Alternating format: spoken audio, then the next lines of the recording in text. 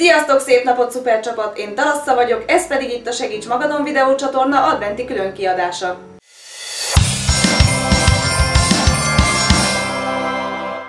December 20-a van, és úgy döntöttem, hogy elkészítek egy jó kis lencselevest holnapra, mert én és a férjem nagyon-nagyon szeretjük, de ha már lencseleves, akkor gondoltam, hogy megmutatom nektek, hogy milyen jó kis kaját tudtok csinálni magatoknak szilveszterre, mert minden szilveszterkor vagy lencsefőzeléket, vagy lencselevest szoktam készíteni, mert bizony nagyon jól tud jönni, amikor az ember elmegy bulizni, és másnaposan amúgy sem szerette a gáztűzhely mellett állni, akkor nagyon jó, hogyha a hűtőben van némi finomság és egyébként a múltkor utána olvastam egy kicsit a lencsének, és tele van vitaminnal, ásványi anyaggal, illetve tele van rostokkal, úgyhogy elvileg az emésztést is nagyon jó serkenti, meg a májnak is nagyon jó, a hajunk is gyönyörű lesz tőle, meg a bőrünk is, úgyhogy vágjunk is bele, mutatom, hogy hogy készítem. A lencseleves legfontosabb összetevője a jó minőségű lencse. Egyébként én füstölt hússal szoktam összefőzni a lencsét, Kell bele még sárgarépa, illetve fehérrépa, a rántáshoz kell majd egy kisebb fej vöröshagyma, illetve tejföl. Vágjunk is bele!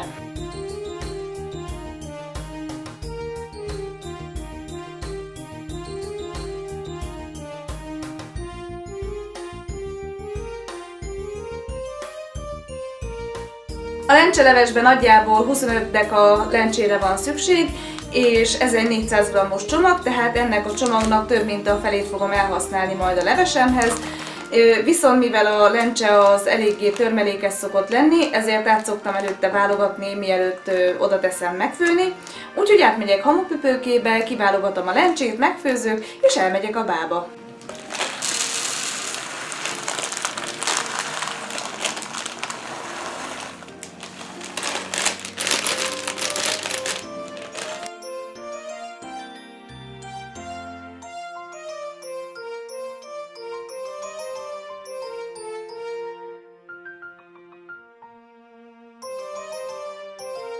Átválogattam a lencsémet, most fogom és szépen megmosom, átöbbítem,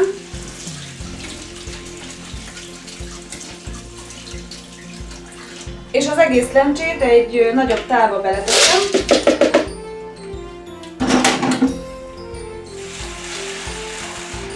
És most a lencsémet egy-két órára állni hagyom a vízben, hogy egy kicsit megszívja magát és könnyebben megfőjjön. A lencsém szépen megázott, földagadt, úgyhogy ezt most berakom egy lábosba, és így is van, látszik a lábosom, ez fantasztikus. És most belerakom most a füstölt húst, és teszek rá annyi vizet, amennyiből szeretném, hogy a levesem elkészüljön. Most, hogy a levesemet fölöntöttem vízzel, teszek a hús mellé némi babérlevelet, én egészen konkrétan most három nagyobb levelet teszek bele a levesembe, oda teszem megfőni a húst, előkészítem a zöldségeket, megpucolom a sárgarépát, illetve a petrezselyem gyökeret, összekarikázom őket, és amikor a hús már félig készen van, illetve a lencse már egy kicsit olyan puhább, akkor belerakom a zöldséget is a levesbe.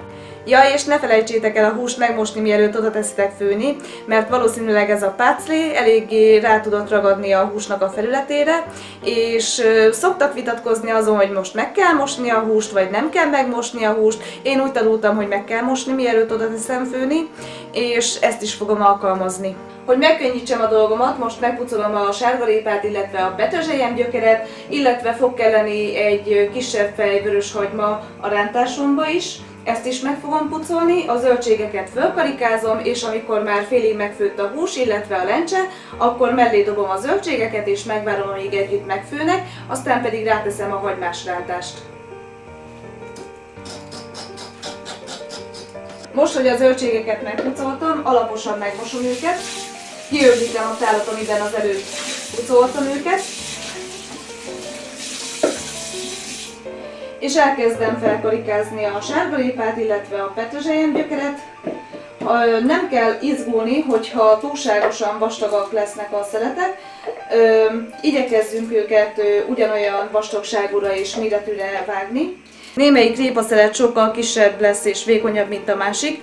Ezt úgy tudod jól kiküszöbölni, főleg itt a répának a fejénél, hogy ezt a trükköt egyébként nagymamámtól tanultam, hogy szépen fogod, itt középen bevágod a répának a fejét, és amikor elkezdenéd darabolni a sárga répádat, vagy a fehér répádat, akkor egyszerűen csak itt vágod le őket, és igyekszem nem eldobálni, miközben itt bemutatom a trükkömet. És már is van két félszelet petrezselyem gyökered. Illetve, hogyha ennyire vastag a sárgarépád, akkor nyugodtan lehet így négybe bevágni, és úgy kezditek el darabolni, mint az előbb, amikor félbevágtátok.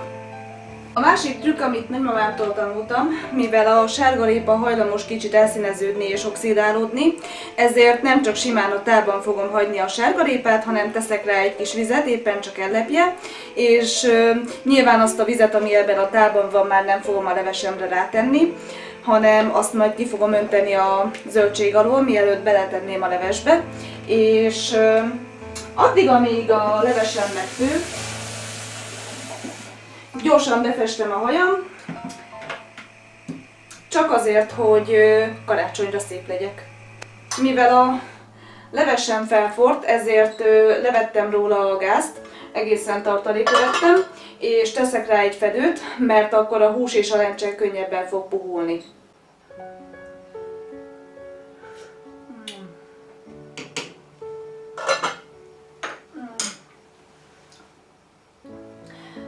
Isteni íze és illata van a levesemnek, de amíg arra várunk, hogy elkészüljön a hús, illetve még egy kicsit puhuljon a lencse, írjátok meg nekem kommentben, hányan szoktatok hirtelen felindulásból elkövetett hajfestést elkövetni saját magatok ellen, hogy időt spóroljatok magatoknak, amíg mondjuk fő a hétvégi ebéd, vagy amíg kihozzák nektek a pizzát. Egyébként egy kis só még nem árt bele, mert úgy éreztem, hogy egy picit sótlan még, de nem baj mindjárt pótolom benne a sót, viszont még mindig csinyábálok a sóval, mert a hús az még nem főtt meg teljesen, és még mindig lehet egy picit sósabb a leve, miután a hús megfőtt. Amíg arra várok, hogy a hajfestékemet végre lemoshassam, illetve hogy beletelhessem a levesbe a zöldségeket, szépen kockákra vágom a vörös hagymát, és egy ilyen pici lábosba fogom beletenni, egy kevés zsír kíséretében. Előkészítem a rántást tulajdonképpen, mert unatkozok. Nem tudok egy jó ízű újságot elolvasni, mert félek, hogy összekenem a kanapét, úgyhogy inkább megcsinálom az ilyen kis apróságokat addig, amíg le nem mosom a hajamról a festéket.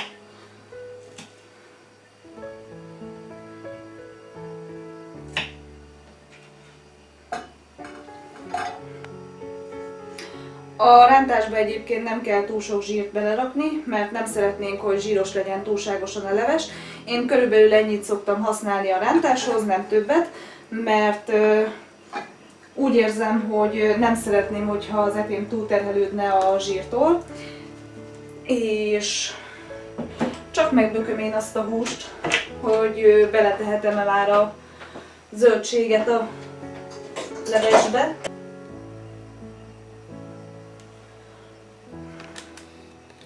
A húsim még eléggé keménynek bizonyul, de a hajamat már lassan lemoshatom, úgyhogy amíg még puhul a hús, addig hajat mosok, megszáradok, átöltözök és jövök vissza. Milyen lett a hajam?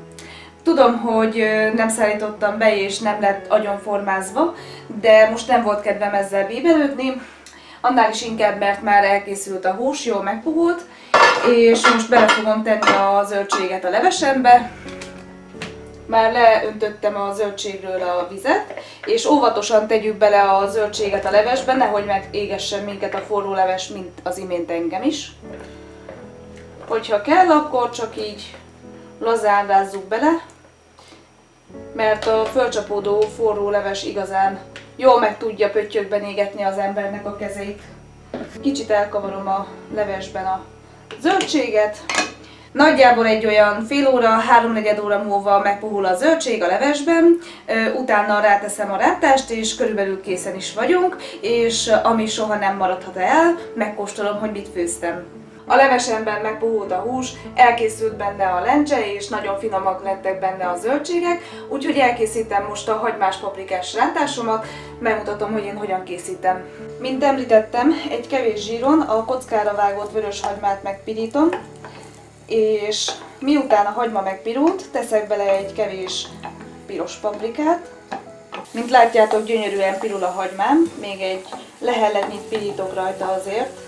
Most, hogy a hagymám már megpirult, teszek bele egy kis kanálnyi lisztet, és nem kell bele sok liszt, mert különben a levesben meg fog állni a kanál, és hogyha lehet, akkor ne a liszttől, hanem inkább a lencsétől álljon meg a kanál a levesünkben. Egy kicsit megpirítom ezt a lisztet is, ezen a zsíros hagymás finomságon. Liszttel együtt is folyamatosan kavargatjuk a rántást, különben odakoz már, másrészt meg csomós lesz, és miután a lisztünk ilyen gyönyörű szép zsemleszint vet fel, lehúzzuk a tűzről a rántásunkat, teszünk bele egy kevés piros paprikát, és utána egy kevés tejföldel fogjuk összekeverni még. A rántásunkba beletesszük a fűszerpaprikát, és azért nem a tűzön tesszük bele, mert ha a fűszerpaprika egy kicsit megég, akkor nagyon keserű tud lenni, és az nagyon nem kell az ételünkbe. Főleg nem szabad elrontani egy ilyen isteni finom levest, amit most készítünk. Éppen ezért fogjuk most rátenni a tejfölnek egy részét, és amikor a tejföl egy része rajta van, jól összekeverjük, hogy esélye ne legyen leégni. Amikor már a tejföllel jól összekevertük a rántást, akkor visszatesszük egy kicsit a tűzre, és a következő kanál tejfölt ismételten rátesszük. Azért kell a tejfölt aprólékosan hozzákeverni a rántásunkhoz, hogy ne maradjon csomós, mert az eléggé csúnya tud lenni a levesünkben, és egyébként az összes főzelékemben, illetve az összes tejföllel készült levesemben mindig valahogy ilyen aprólékosan keverem bele a tejfölt. Mm. Mm. Mert nem túl szép és nem túl igényes, amikor a gyönyörű finom kis levesünk Szóval nem túl igényes, amikor a gyönyörű finom levesünken ott úszkál egy csomó ilyen tejföldarab.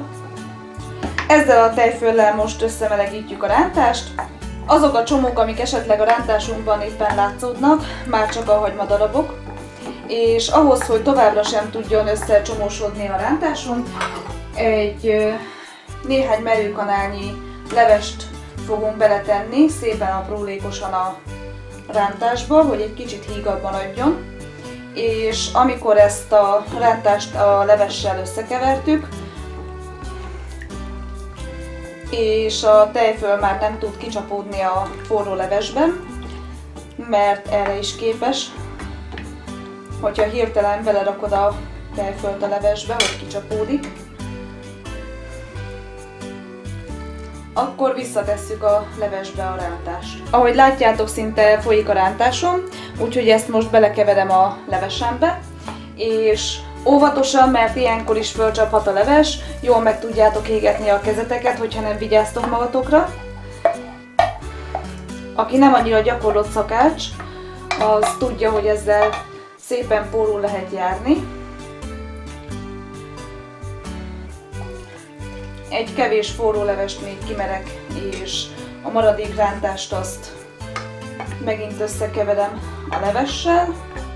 Nagyon szép színe lett a levesünknek, gyönyörű szép lett az állaga is. A levest most 5 percig még főni hagyjuk a rántással, és utána megkóstolom, hogy milyen lett, bár nem akarok sokat enni éjszakára, mert nem akarok vadakat álmodni.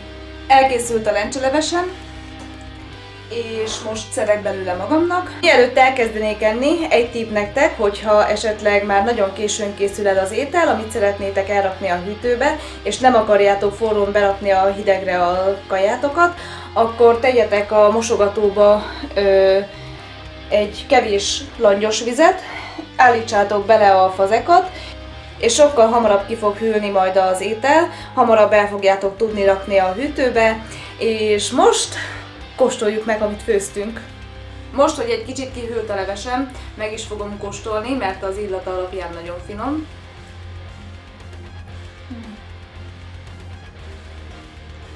Mm. Nagyon finom lett, isteni. Ez az egyik kedvenc levesem. És bocsánat, hogy teleszájjal beszélek, de különben nem fogom tudni befejezni a videót, annyira finom. Hmm. Az a helyzet, hogy gyerekkorom óta az egyik kedvenc levesem a lencseleves.